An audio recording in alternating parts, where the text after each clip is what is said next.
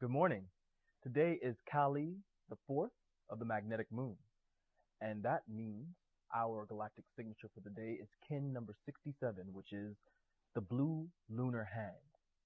That means our affirmation for the day is I polarize in order to know, stabilizing, healing. I seal the store of accomplishment with the lunar tone of challenge.